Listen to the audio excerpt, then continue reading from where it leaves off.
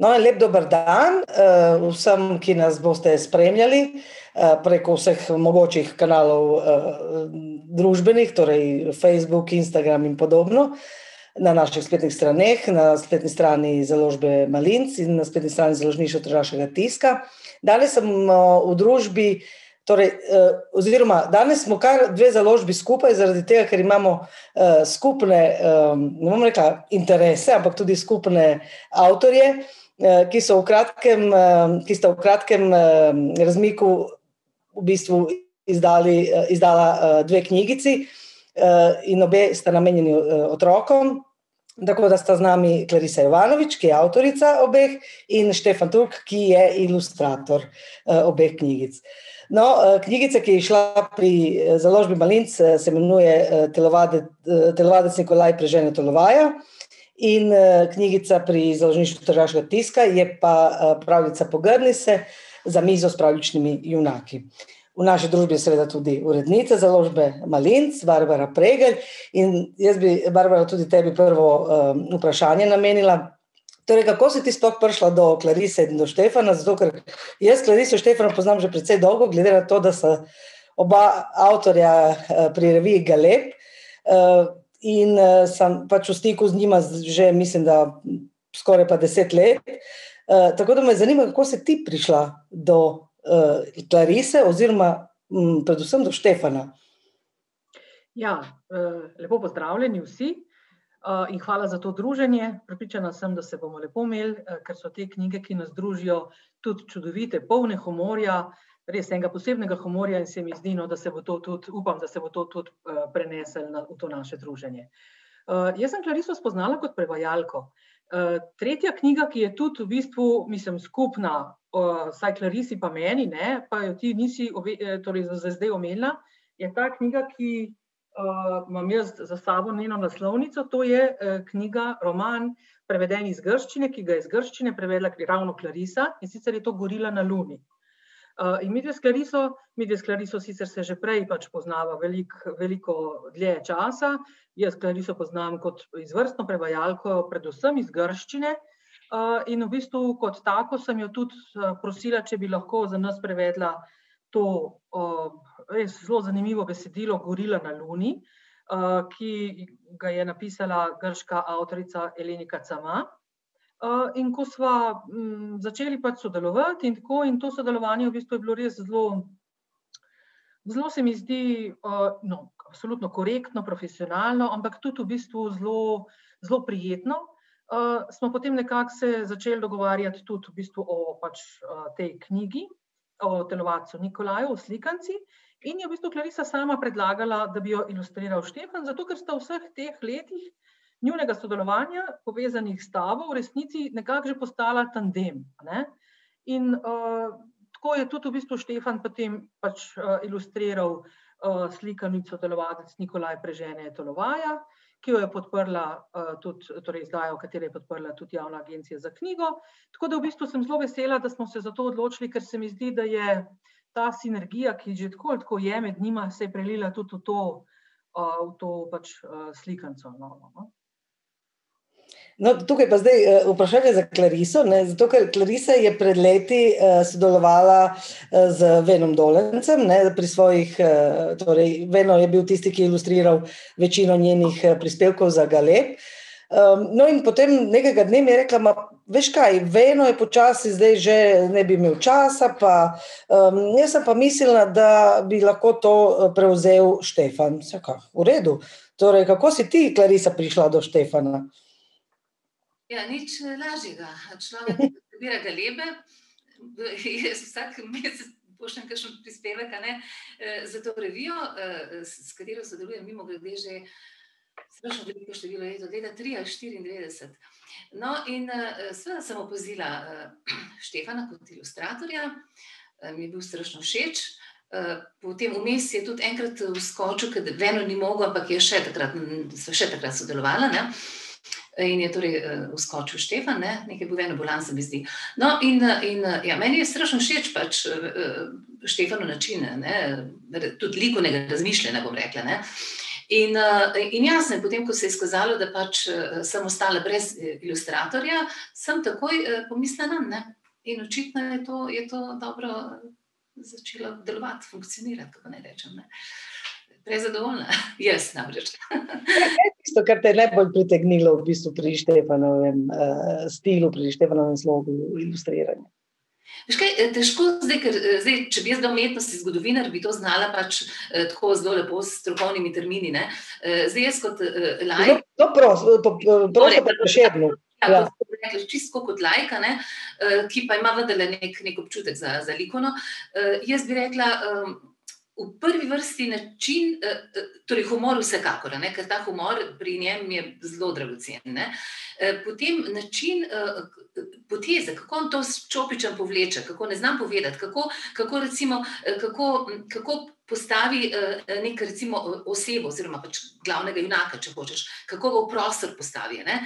Kako je včasih to tako na vides na ključno, pa vendarle ni. Ne? Kako recimo ta oseba v nekem, v nekem, v nekem okolju, ne? ki, ki, ki, ga, ki ga zelo. Ki ga, Zelo previdno, rekla, zelo, zelo minuciozno na način, tudi naslika Štefana, in ta oseba, vendarle, v tem, v tem okolju, zelo dobro, neverjetno dobro zaživi. Kako recimo z minimalnimi sredstvi, likovnimi, kako zna en karakter eh, prikazati, ne? kako tudi eh, neki detajli, kazim. Včasih je to lahko neka rastlina, eh, drevo. Eh, skratka, kako z detajlom tudi recimo neko vzdušje ustvari, pa potem njegov kolorit tudi, ne? njegova risba, itaka. Ne? No, sem verjetno dovolj povedala, ne? kot kot like, ne, ne kot ne umetnosti zgodovinar. Tako da, ja, jaz, jaz sem nad njim navdušena no, in, in, in ni ga bilo treba prositi, na tebe pa tudi ne. ne Ne, ne, mene sigurno ne. Ja. Uh, pravljica, uh, pravljica Pogrni se je zdaj ta druga knjiga, uh, ki, smo jo skupaj, ki smo jo skupaj izdali. Uh, obe sta vezani v bistvu na kulinariko, na hrano. Um, pa me je zanimalo, v bistvu, uh, od In ne samo, ne samo te dve knjige, ampak tudi uh, ena cela vrsta prispevkov, ki so, uh, ki so nastajali za Galeb, so bili tudi vezani na recepte, na prehrano, predvsem na m, tradicionalno uh, prehrano, ne samo uh, slovencev, ampak tudi uh, drugih narodov. Zdaj, uh, me zanima, odkot sploh to tvoje navdušenje ne, nad kulinariko nad, in ne samo zna, ti znaš tako spretno povezati v bistvu kulinariko in pravljice, eh, pravličnost v kulinariki in kulinariko v pravljicah. Ja, eh, najprej, eh, gotovo človek se ne more eh, sprenevedati, ne? nekaj te mora zanimati. Ne? Mene zanimajo pravljice neskončno, me zanimajo svet pravljic. To, eh, torej, jaz sem ga pač odkrila kot vsi otroci v otroštvu. Ne? Moja mama je zelo dobra pripovedovalka, moram reči. In um, potem pozneje smo poslušali tudi, vse to sem že povedala, tudi v primorskem dnevniku, ne v intervjuju, kasneje smo poslušali, to so bile 60 leta, ne, eh, tudi pravljice eh, na radiju, zelo veliko, ne takrat, ne samo pravljice za lahko noč. To so bili takrat izjemni slovenski igravci, predvsem ne dramski igravci, ki so pravljice brali in, in je bilo to torej, izjemno doživetje, te pravljice poslušati res. Potem pa sem se pravljice malček zapustila v času pubertete, kar je po svoje razumljivo, ne? in jih znova odkrila že v gimnaziji. In od takrat naprej so pravljice in svet, ki me spremlja. Uh, zdaj moram reči takoj, da um, Jaz sem seveda neskončno hvaležna, torej jaz nisem etnologinja, jaz sem neskončno hvaležna uh, vsem tem zapisovalcem pravljic, ki jih je preveč, da bi jih imenovala.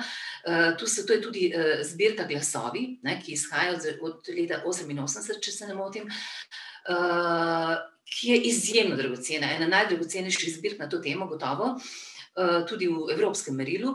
Eh, zdaj, moram pa povedati, da pri pravljici, ker ne bom predolgo, ker je to ena zelo široka tema, pri pravljici je treba ločiti pravljico, ki je uživo povedana, in pravljico, ki je zapisana. V Sloveniji, torej, smo se, smo, če rečem tako, pri osebi množine, ne, eh, s pravljicami eh, srečali pravzaprav že z neko literarizirano pravljico, ne, ta klasika, Brado Grim, ne, to so literarizirane pravljice. Eh, in zgleda, da je to tudi nek model, ki smo ga, ne vem, slovenci prevzeli.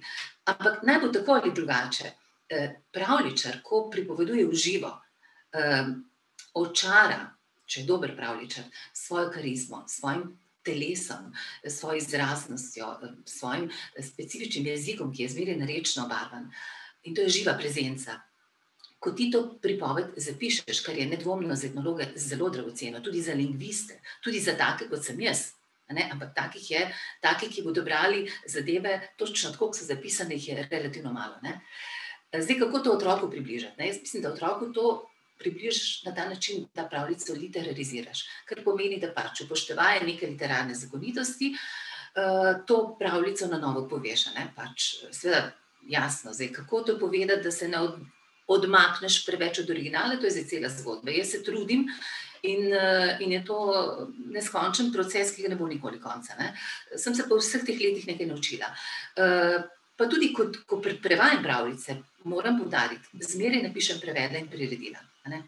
Tako da, kar pomeni, da jaz to pravljico pač znova povem, uh, tudi dialogi so pogosto moji, vsaj del dialogov, zagotovo. Ne.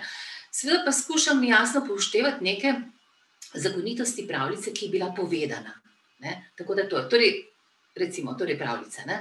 Zdaj pa uh, um, kulinarika. Ne. Vsi, ki živimo, tudi jemo, eni raje, eni manj radi. Mislim, da, vsi ljudje, ki imamo radi življenje, radi tudi jemo. Ne? Vsi ljudje, ki radi jemo, radi dobro jemo. Ne? Zdaj spet, kaj je dobro, kaj je komu dobro, je to druga stvar. Uh, jaz pa moram reči, da me pri hrani neskončno zanima. Ne samo to, pač, da pač pojem, ker mi je dobro in da tudi nekaj skuham in mi uspe in mi je to lepo in dobro. Uh, zanima me tudi, odkot kdaj, kako, kdaj so prišla neka živila eh, k nam, odkdaj jih eh, dajemo v lonec, zakaj smo nekatere živila opustili, kako so ta živila povezana z določenimi običaji. Mislim, tukaj je neskončno vprašanje. Skratka, zgodovina prehrane me zelo zanima. Ne? Uh, in potem, sem, še ko sem bila majhna, sem vse čas morila na stare starše, kdaj, kako se to dela, zakaj se to dela, zakaj pa zdaj no, zdaj to malo drugače narediš. In tako dalje. Torej, tu je zgodovina prehrane v tisti knjigi, ki so jo pa že skupaj tudi ne, naredili pred petimi leti, dobro jed se samo ponuja.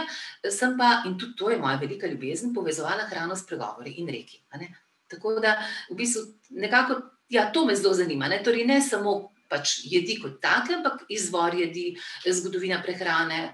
Uh, in v tej knjigi ne, sem pač to povezala, kar pomeni pravljice, sem izbirala, v katerih je omenjena neka jed ali pa neko živilo, in potem na to temo izbrala pač enega, dva ali tri recepte, in, uh, pač in tako je nastala ta, pač, ta knjigica. Ne.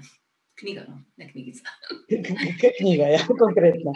Uh, Štefan, zdaj uh, še vprašanje za te, ampak še preden se, se, tebi, uh, se, se posvetim tebi, sem uh, hotela še pri Clarisi v bistvu um, nekako poudariti to, da uh, Telovadec Nikolaj je pa pr, tvoja nekako prva avtorska knjiga, v smislu popolnoma avtorska uh, zgodba v verzih, uh, ki ni uh, pridelava ali pa obnova pravljice, ampak izvira prav uh, iz tebe. Kako je prišlo sploh do telovadca Nikolaja? Uh, ja, jaz pišem za otroke dolg časa že. Ne? In, uh, in tudi moram reči, da je bilo kar nekaj moje poezije za otroke že objavljene v Cicibanu. Res sem imela potem dolgo pauzo. Uh, potem nekaj je tudi pred, pred, predlani, ki je šlo uh, ja, v sodobnosti. Uh, Jana Bauer je nekaj moje pesmi opazila in je potem rekla, da je no, da je ne. Tako da zdaj so tudi zmenjeni z Jano Bauer za pač neko zbirko poezije za otroke. Uh, ja, potem sem celo ja, tudi v, v, v Galebu, ja, ampak takrat nisi bila ti urednica, tudi v Galebu sem objavila ene par, ene par poezij, pa tudi odkar si ti urednica, tudi nekaj, nekaj malega. Ne. Uh, jaz moram reči, da to je, to je pravzaprav pesem, to je pač malo daljša pesem. Uh, pač pravljice v verzih, ampak ne, torej spada v poezijo. Ne. Tako da, uh, ja, jaz sem pač, pač lepega dne si rekla, zakaj pač ne bi, ne bi, ne bi tega zaokrožila. Ne. Uh, v neko celo zgodbo. Najprej je bila pač neka krajša varianta, jaz sem tako začutila, da je pesem po karakterju zahteva nek še nek razvoj, še nek zaplet. Dva, sem dodala še dva zapleta in pač tako je to nastalo. Je brez da mi tega materijala, ki ga treba, ki je na tri četrt narejen, ki bi ga bilo treba še malo obdelati, ga imam še kar precej v predaljih ali v Wordu, kot hočete. Ne? Tako da mogoče in jaz upam, da se še kaj, da, se, da še kaj, da še kaj pride na plano v naslednjih letih, če bomo živi in zdravi. Znaš, Štefan, dej, da te malo izprašamo, ker verjetno te uh, publika, ki bo spremljala uh, to naše srečanje, bolj malo pozna, vsaj v Sloveniji, uh, razen tisti, ki seveda so že prišli v stik z revijo Galeb. Um, torej, Štefan, ti si uh, nekako ilustrator samouk in slikar samouk, je tako? Oziroma, ti si študiral umetnostno zgodovino, torej sva kolega. In uh, potem, odkot, v bistvu, uh, kdaj si začel in kako, uh, nekako, odkot izvira ta, ta tvoja ljubezen do slikarstva in do, predvsem, ilustracije? Ker prav na področju ilustracije si se potem najbolj nekako uh, tudi izkazal. Ja, um, kar se tiče, tako bi rekli, tega umetniškega duha oziroma slikarstva, to sem že od mladih let nekako eh, razvijal, ker mi je bilo všeč risati. Torej, tako sem, sem si vzel čas, da sem eh, tako nekaj risal, nekaj packal. In doma nekako so me, tam, to je bilo okoli 16 let, eh, predstavili enemu državskemu umetniku, ki je vodil poletne tečaje v naravi. In uh, nekako to bi lahko značil kot nekako skočna deska, da sem nekako začel malo razvijati to mojo ljubezen do risanja, barvanja. Uh, in od takrat potem uh, sem sicer to doma stalno nekako razvijal, in se začel ukvarjati s slikarstvom, vedno bolj, bi lahko rekli, tako bolj eh, angažirano. Eh, tako da potem sem tudi pripravil razstave in eh, imel nekako predstavitve tudi eh, v javnosti. Kar se tiče pa ilustracije, to je tudi bilo, eh, to pa je bilo nekaj slučajnega, ker Jaz, eh, kot študent, sem zahajal v Tržavsko knjižnico, ker sem pač študiral. In tam so me enkrat eh, knjižničarke, s katerimi sem imel dobre odnose, skoro bi rekel, to, da smo prav prijateljske odnose, eh, vprašali, če bi eh, za Galep nekaj ilustriral, en tekst povezan z knjižnico. In to nekako so bili prvi zametki te poti. Potem, zatem sem skušal razvijati boljše stike z takratno urednico Galeba, ki je bila počas... tako Majda Železnik. Ja. Ja. Eh, Majda Železnik je namreč pred eh, parimi dnevi šla na drugi svet, tako da tudi omašnje na ta način. Ne? Ker je ja. ona zelo skrbela za, prav, tako za podobo, kot za besedo. Ona pač mi je da, ponudila možnost, nekako, ne, da se preizkusim malo resneje ne, z ilustracijo.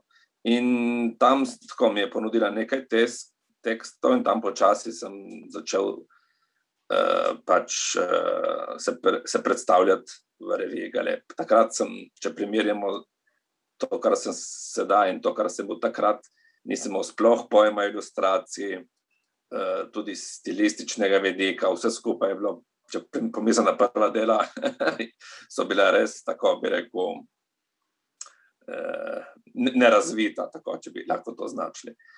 In takrat sem, eh,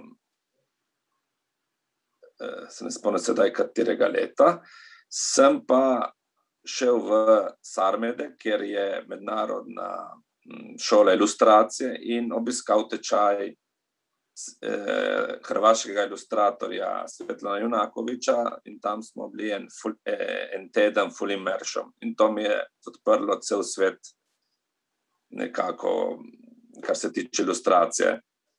Um, kako mislim, da si zamišljati kompozicijo, uporabljati uh, različne tehnike, in predvsem bi rekel tisto, kar ste omenili in me označuje, tako tudi ta uh, duhovitost.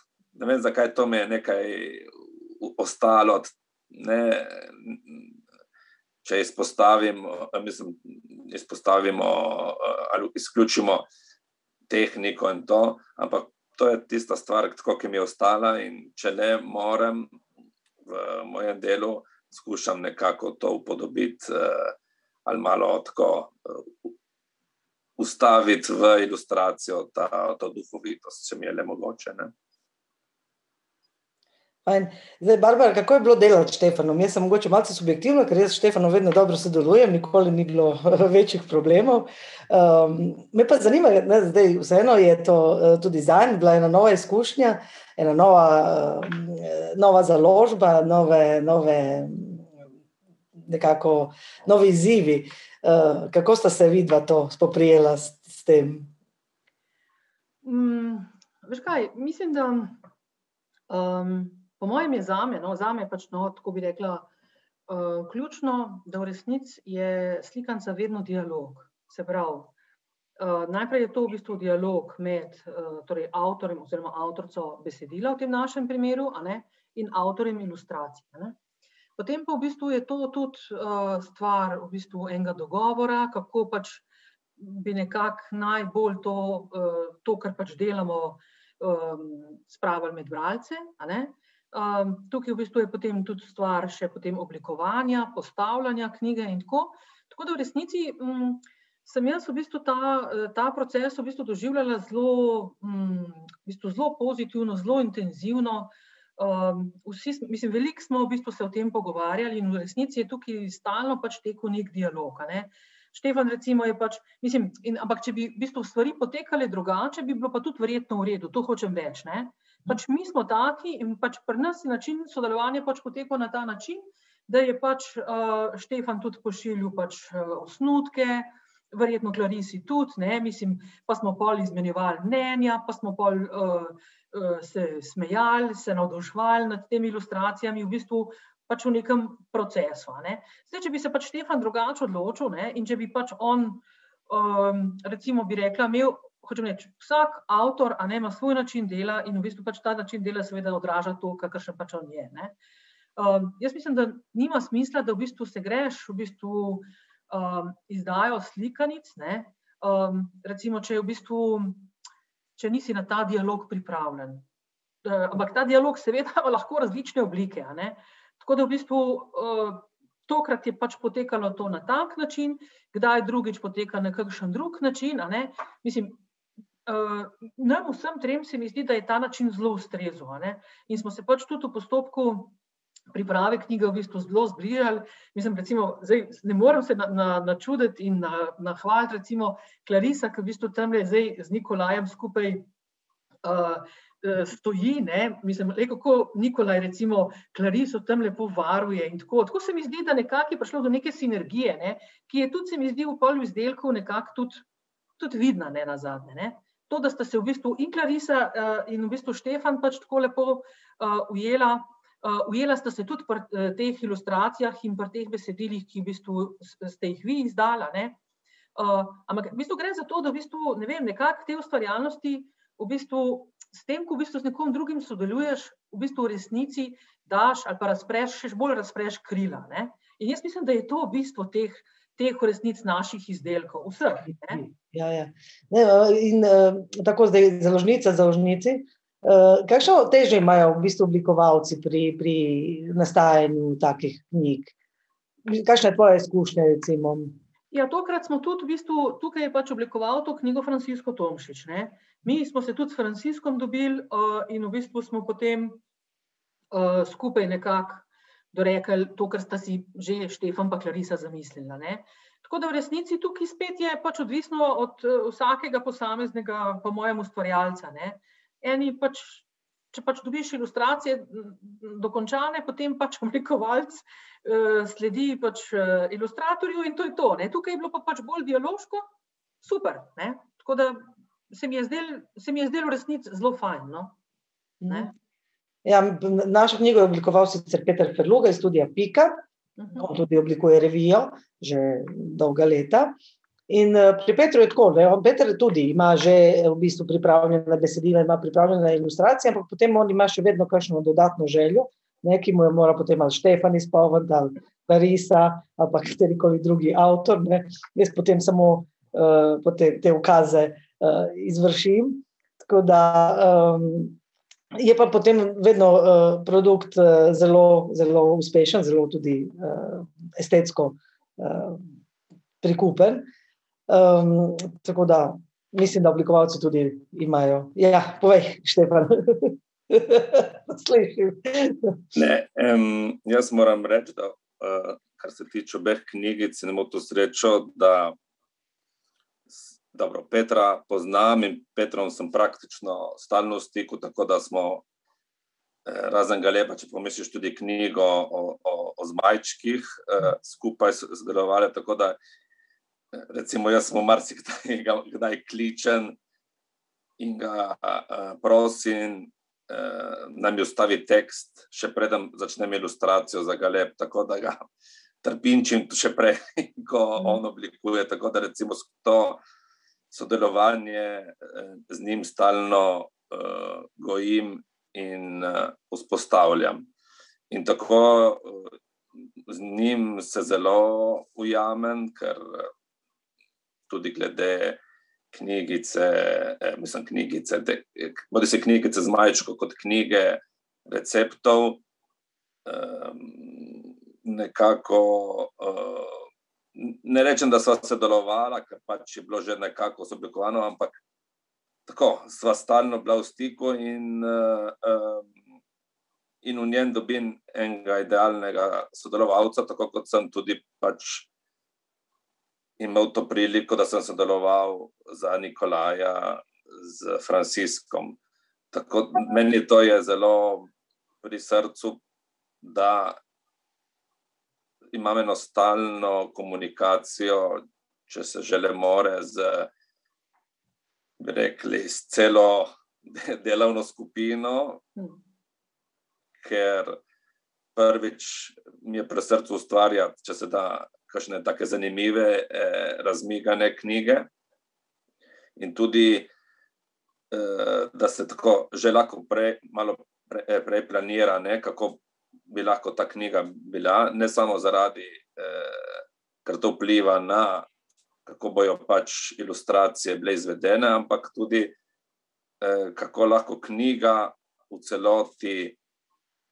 Postane. Recimo, da za knjigo receptov nismo imeli veliko, uh, kako bi rekel, razmišljanja, ker pač oblika je bila že nekako ustaljena. Ampak tudi pri tem, uh, mislim, da je kot izdelek je, super, tako da smo tudi tukaj uh, uspeli uh, ustvariti en tak zanimiv izdelek, tudi iz oblikovnega vidika. In to sodelovanje omogoči tudi. Pri nastajanju eno izmenjavanje idej, tudi drugi lahko meni, glede na kako feedback, glede na kako pasko, kako.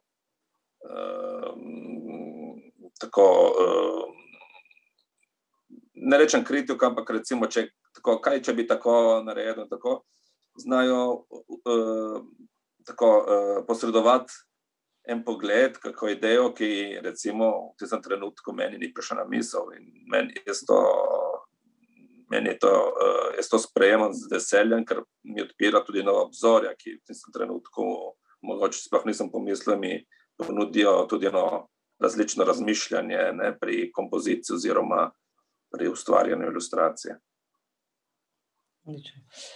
Klarisa, še za to eno vprašanje. Se, mislim, da potem bomo lahko že počasi zaključili ta, na, eh, ta naš pogovor. Um, prej si omenila, ne, da tako kot si navdušena do uh, hrane, do pravljic, um, si te prav tako navdušena nad jezikom. Uh, in si že omenila ne, uh, to, da uh, dosti krat poskušaš povezovati um, torej to, kar uh, recimo. V našem primeru, kuhinjo in jezik, v prvi knjigi, v Dobro je, se samo ponuja, so bili to pregovori, ki so bili vezani na hrano. Ampak um, ko sem prebrala uh, Telovaca Nikolaja, je tudi tam zelo opazna ta, to igranje z besedami uh, in v bistvu ta tvoja ljubezen do jezika. Ne?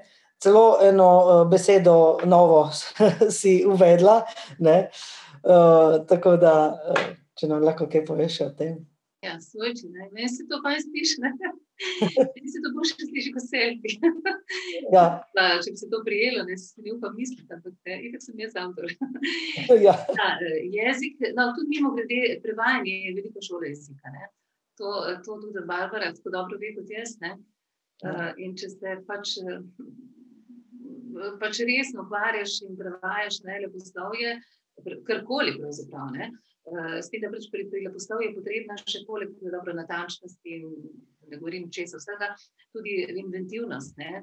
Uh, zelo večkrat si mora človek izmisliti nove besede, dobesedno, nove, nove besede, no, dobesedno, ne.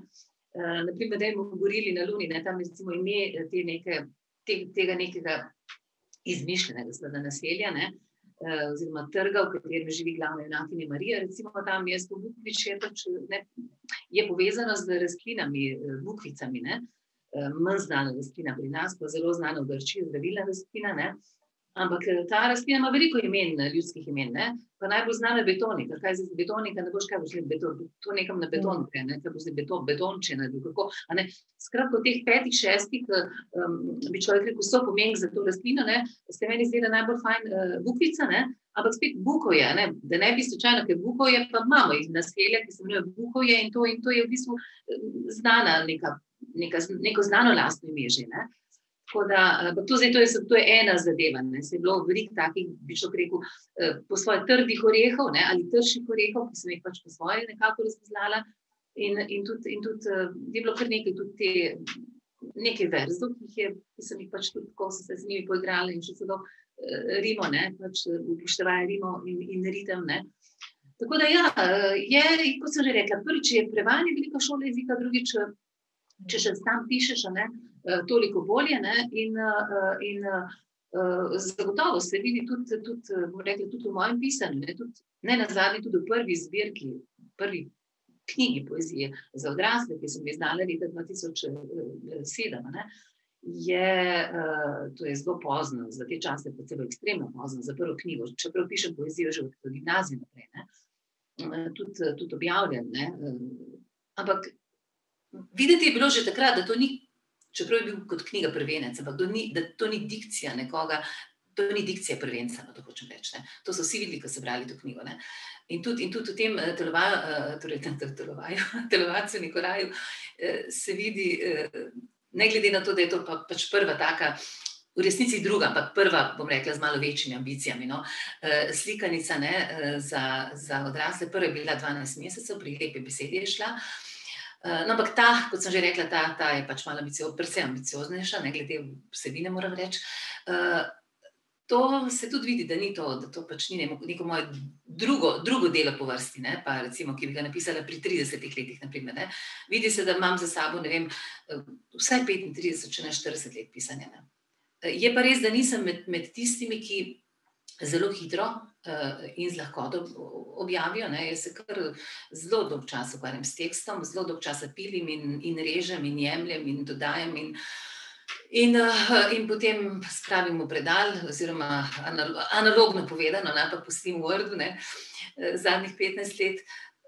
Da, ampak je pa res, da se je zdaj tega zelo veliko nabralo in sem zdaj začela malo iz teh, te, iz teh zakladov, iz teh map, ne, stvari imati ven in jih zdaj malo obdelujem in pilim. In mislim, da bom v naslednjih letih, če bo sreča, ja, ne, če bo še ta svet obstajal, glede na vse to, vse to kar nas pesti. Ne. In če bodo koga knjige še zanimale, ne, ampak bodimo optimisti, no, mislim, da bo, še, da bo še kar nekaj tega šlo, ker se ne zato, ker bi tako hitro delala, ne, ampak ker se je tega preprosto v teh letih veliko nabralo, jaz pa se nekako nisem dolgo časa mogla odločiti, da bi, da bi to dala na svetlo. Ne. Zdaj bom pa z določenimi, bom rekla, intervencijami, si bom pa to drznila. Ne. Pa mimo grede bi še to povedala, ravno glede prevajanja, ker se bo tudi Barbara gotovo z mano strinjala. Uh, jaz sem recimo gledala neke svoje prevode, prevode um, znanega um, klasika grškega Kvafisa, uh, ki sem ga prevajala pred 30 leti in sem zdaj nekatere pesmi znova kar precej predelala, ker človek se vendarle tudi kaj nauči. Ne?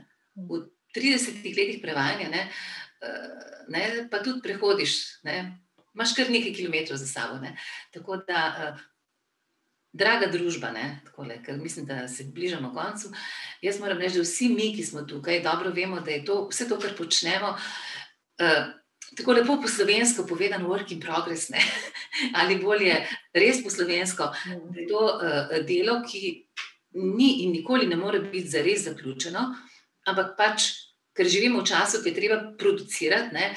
je v nekem trenutku pač treba postaviti piko in se potem naprej ukvarjati z nekim drugim projektom. Uh, tako da, uh, ampak vsi, ki smo tukaj, to resnično dobro vemo. Ne? In jaz moram reči še enkrat, da sem zelo, zelo hvaležna obema založbama, založbi Malinc, ki jo tukaj predstavlja Barbara, ne Barbara, hvala.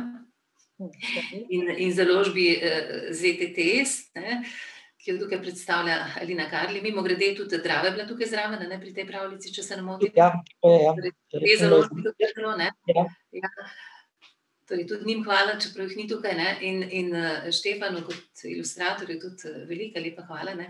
Ker še to bi rada rekla, v slikanici je ravno tako pomembno, je ravno tako pomembni likovni kot, kot besedni del. To, to, to vse čas podarjamo. Uh, Uh, že res, da morda prvo idejo da pač tekst, ampak uh, vendarle ne.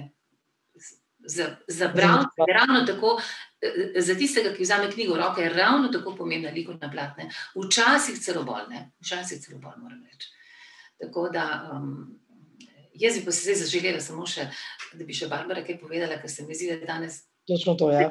Da je čist premalo povedala, glede na to, da se dve, dve knjigi v kateri sem, bom rekla, na nek način jaz, avtor ali so avtor, išli pri Malincu, je, torej, Barbara, lepo, lepo prosim, no, zdaj pa še ti. Ja, no, mogoče bi se navezala. Ukradla bi se.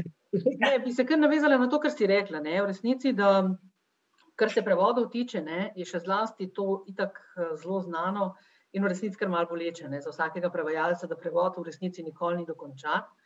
Ampak jaz moram reči, da uh, sem pa v bistvu res izredno vesela, um, da je pa gorila, kljub temu, da je prevod, torej že po naravi, pač nek, nekakšno besedilo, ki ga je zelo težko dokončati in narediti tisto končno piko in postaviti končno piko. Um, vendar le besedilo, ki je res izredno suvereno, ne, uh, torej prevedeno, seveda, res gre za vrhunski prevod. In moram reči, da sem bila zelo vesela, ker uh, so to opazili tudi različni blogeri, različni kritiki, uh, uh, mislim, od recimo Petra Koršič na zadnje, ne, uh, do recimo tudi uh, blogerke, literarni lekarni, Lenke Štrukel in tako. In tudi vesela sem zelo tudi za Nikolaja, da v bistvu v tem slovenskem prostoru ni ostal, bi rekla, neopažen. Ne.